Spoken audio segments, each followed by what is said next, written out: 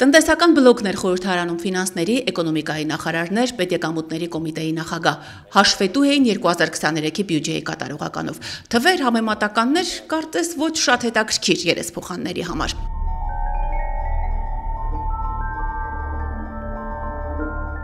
Նույն կադրում մեջք-մեջքի նույն գործողությունն են անում։ Սրանք ուշադիր հետևելու ժեստեր չեն։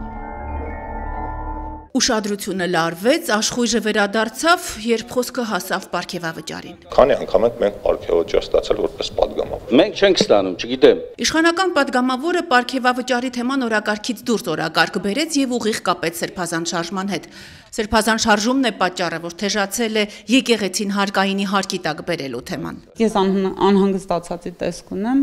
Վազգեն Գալստանյանի շարժումից։ Հարցը 4-րդ իշխանությունը հրետորականի տիրույթում թողեց։ Պատգամավոր Ծովինար Վարդանյանը ոչ խմբակցության ինչպես պնդեց, այլ գործընկերների հետ սկսել է ուսումնասիրել կրոնական կազմակերպություններին պատկանող գույքը, քանզի կարծում է, չկա արտոնյալ դաս։ Ում են կոնկրետ դիտարկում, ինչ են parzել, եթե ինչպես պնդում են նոր չեն այդ գործը նախաձեռնել, չասած։ Ցուցակը կա, ցույց տվեց, բայց վստահեցրեց, որ լավ չի երևա, եւ հետո թերևս չպարզված մի հարց էլ կա, այլապես նույն հարցը երկու անգամ։ Եկեղեցին ի՞նչ է։ Եկեղեցին ի՞նչ է։ Հարկայինի պատասխանատուն հարց չունի, որոշ քննարկումներ ունեցել է նաև եկեղեցականների հետ եւ ունի հստակ պատասխան։ Այն ինչ որ ենթադրում է կրոնական նպատակ դա